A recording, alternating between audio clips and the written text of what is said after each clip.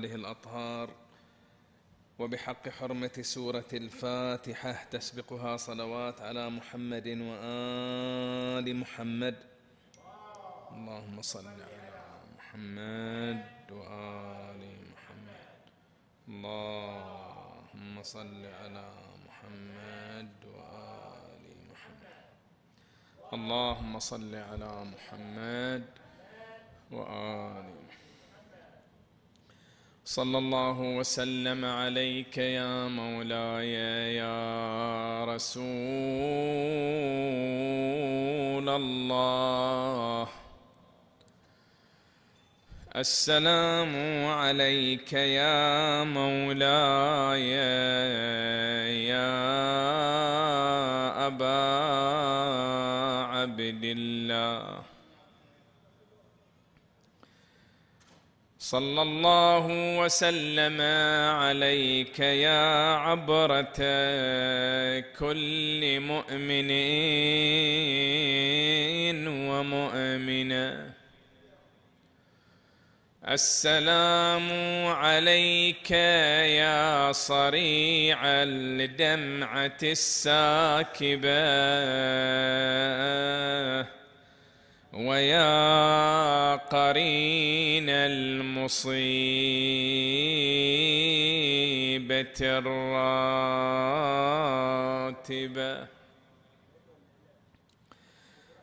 السلام على الشفاه الذابلات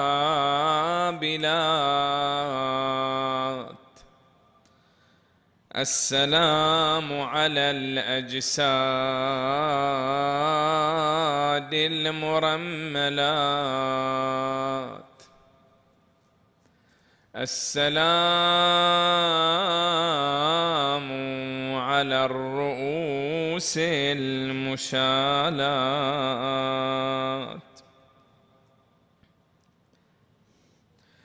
روحي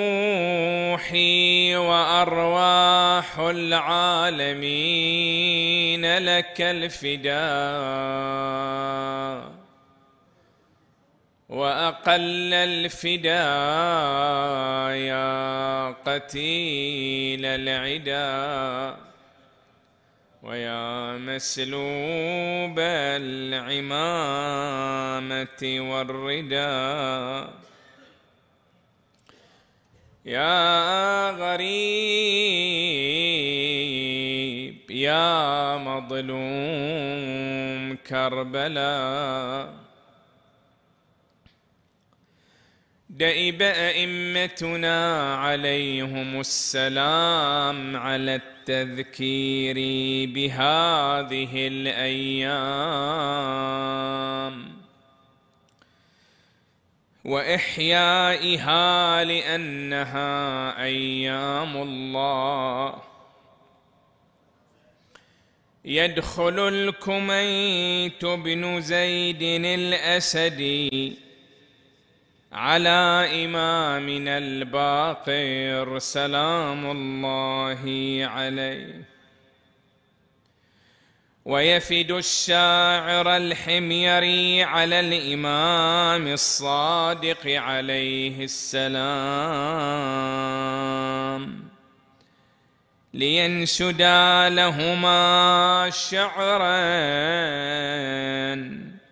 في رثاء أبي عبد الله الحسين.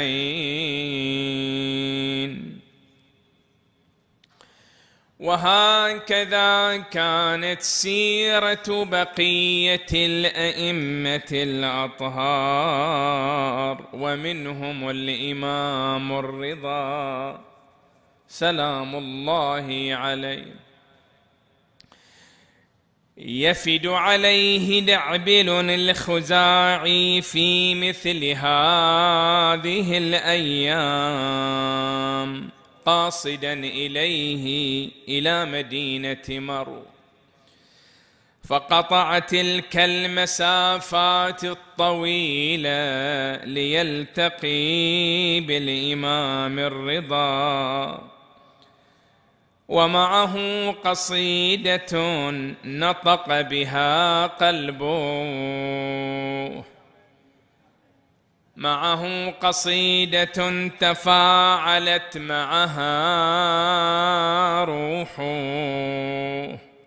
قبل أن يرددها فمه جزاك الله خيرا بعد حياك الله. وهو يحدث نفسه بلقاء الإمام وكان يتمنى أن يكون الإمام الرضا عليه السلام. أول من يسمع بها ويستمع إليها. وكان دعبل يسائل نفسه كيف سيستقبل الإمام وكيف سيتفاعل مع قصيدته. وصل دعبل إلى مرو وذهب مباشرة للقاء الإمام يسلم عليه ويخبره بمن طوت عليه نفسه. فيشكره الإمام ويفرح لذلك فرحة المحزون. ويبتسم له ابتسامة المكروب حينما قال قصيدة يا سيدي أنشأتها وأحببت أن تكون أول من يستمع لها. أول من يستمع لها أنت يا ابن رسول الله. ويتفق معه على موعد لإلقاء قصيدته فيهيئ الإمام المجلس لدعبل وقصيدته والتي ستخلد لما تضمنته من حرارة وصدق وإخلاص. التأم المجلس بحضور أصحاب الإمام ومحبيه وقد وضع الإمام ستارا كما كان يصنع آباؤه. وأجلس خلفه نساءه وحرمه فيما أجلس دعبل إلى جنبه وهو يقول هذه أيام حزن علينا أهل البيت يا دعبل من بكى من بكى وأبكى كان أجره على الله. ثم يخاطبوه يا دعبل ارث الحسين فأنت ناصرنا. قال دعبل فاستعبرت وسالت دمعتي. ثم أنشأ يقول تجاوبن بالإرنان والزفرات نوائح عجم اللفظ والنطقات. يخبرن بالأنفاس عن سر أنفس أساراها وانماض وآخرات. بكيت لرسم الدار من عرفاتي وأذريت دمع العين بالعبرات وفك عرى صبري وهاج صبابتي رسوم ديار أقفرت وعراتي مدارس آيات خلت من تلاوة ومنزل وحي مقفر العرصات. وكان الإمام الرضا عليه السلام يتفاعل مع القصيده بالألم والحسرة واللهفة. ثم بكى الإمام حينما عرج دعبل على ذكر بيوت آبائه الموحشه المقفره ديار علي والحسين وجعفر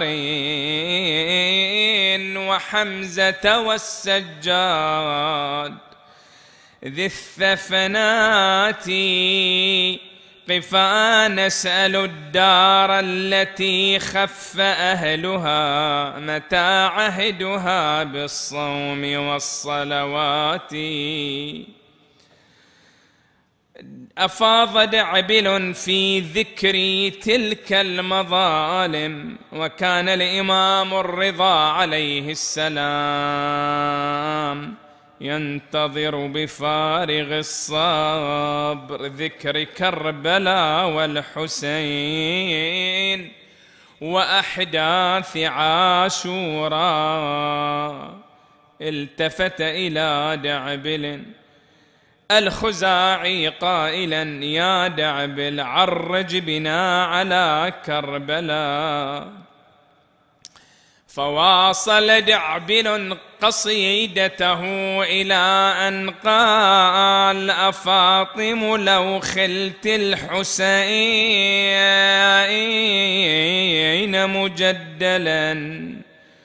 وقد مات عطشانا. بشط فراتي إذا للطمت الخد فاطم عنده. وأجريت دمع العين في الوجنات توفوا عطاشا بالفرات فليتني توفيت فيه قبل حين وفاتي. إن لم أقف حيث جيش الموت يزدحم فلا مشت بي في طرق العلا قدم. لا بد أن أتداوى بالقنا. فلقد صبرت حتى فؤادي كله ألم. يا ابن الأولى يقعدون الموت إن نهضت بهم لدى الروع في وجه الضبل. همم الخيل عندك ملتها مرابطها. والبيض منها عرى أغمادها السأم. نهضا فمن بضباكم هامه فلقت. ضربا على الدين فيه اليوم يحتكم. هذا المحرم قد وافتك صارخة مما استحلوا به أيامه الحرم. يملأن سمعك من أصوات ناعية. في مسمع الدهر من إعوالها صمم. تنعى إليك دماء غاب ناصرها حتى أريقت ولم يرفع لكم علم. مسفوحة لم تجب عند استغاثتها إلا بأدمع ثكلى شفها الألم. حنت وبين يديها فتية شربت من نحرهم نصب عينيها الظبى الخذم موسدون على الرمضاء تنظرهم. حر القلوب على ورد الردز دحموا سقيا لثاوين لم تبلل مضاجعهم إلا الدماء وإلا الأدمع السجم. آه يا هلت الشيعة بالحزن يا يوم عاشور.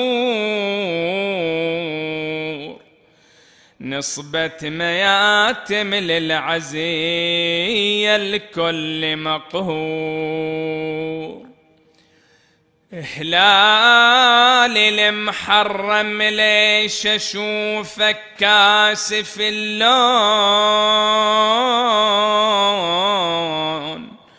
لابس سوادك ليش قلش صار بالكون. ون الهلال وقال سيد الرسل محزون. وكل العوالم محزنة والدين موتور. من حين هل الشهر هل بكل الأحزان وجدد مصاب اللي قضى بالطف عطشان. ناحت عليها ملاكها والإنس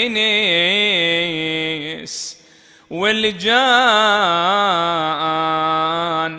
على قتيلي بكربلاء مرضوض منحور هل المحرم وامتلأ قلبي بالهموم؟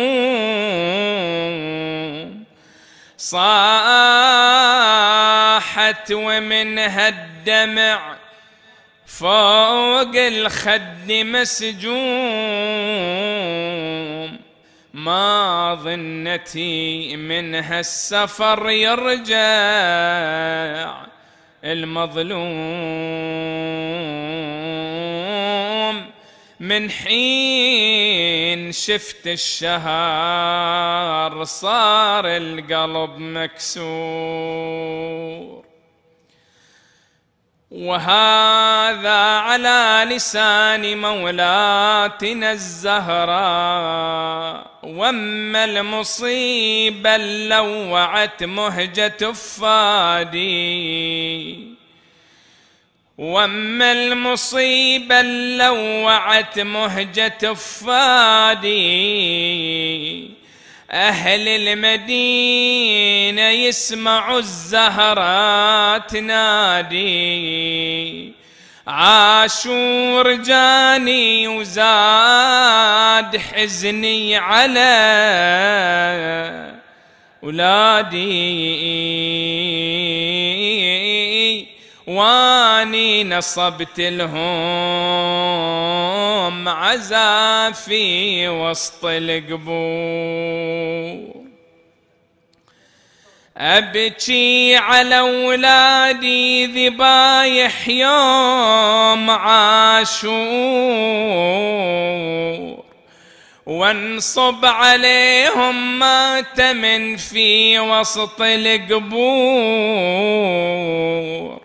ونسيت ضلع اللي بجنب الباب مكسور واعظم علي لون عناعي على حسين. ويتبارز الشعراء في إحياء ذكرى أيام عاشوراء ألا وقفة في الطيف تبتعث الذكرى. القصيدة للشاعر الشيخ عبد الحميد الخطي عليه الرحمة.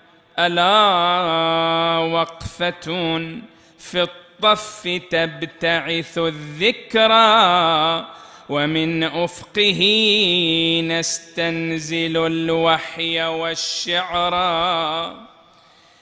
قفا ثم نخشى هيبة لجلاله. هنا عبرة الألباب والعظة الكبرى. قفا بها من ذكرياتي هواجعا وهي جاد فينا الوجد من كبد الحرّ قفا نسأل الوادي أي وادي كربلاء وادي الغاضريات. قفا نسأل الوادي ونستنطق الثرايا.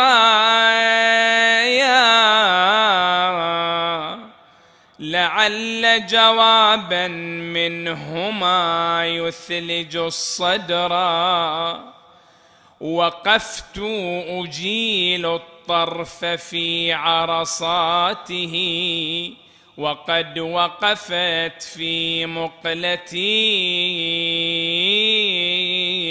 دمعة حيرا. إلى أن قال وثارت بصدري عاصفات من الأسى وطي ضلوعي لوعة تقذف الجمرة ولست أراني بالغا ما أرومه. كفى إنني أعددت مدمعي الأخرى. أيشفي غليل النفس إهراق عبرة ويضمج جرح الدهر تأني بي الدهر غدا تستفز الحياة غدا تستفز الحق غيرة باسلين غدا تستفز الحق غيرة باسلين أقل أمانيه تضيء بها الغبرة هنا استصرخ الإسلام.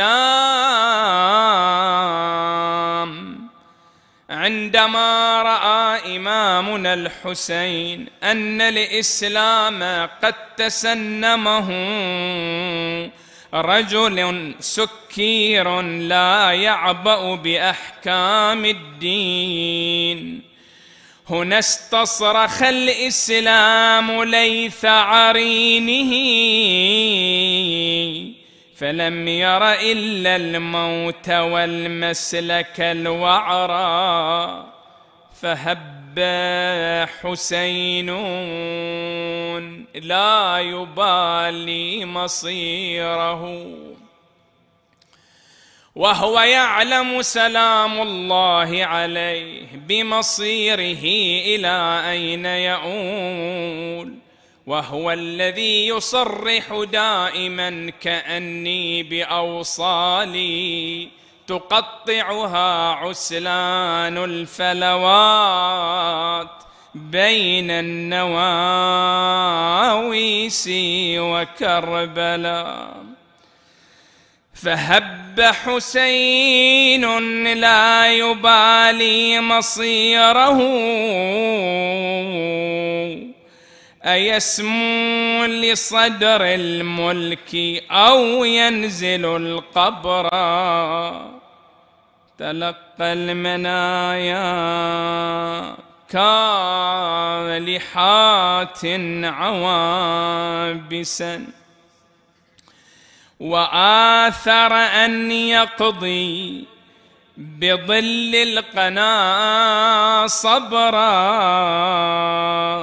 وشمر بالغلب الميامين والذين لم يتجاوز عددهم السبعين من أنصار. وشمر بالغلب الميامين وامتطى متون المنايا. يهدم البغي والكفر يشق عليه أن يرى الدين لعبة يباع على وفق المطامع أو يشرى. هلت شهور إحدى عشار ما حد سمع زلزال وهالشهر كل من يصرخ. عاشور الهلال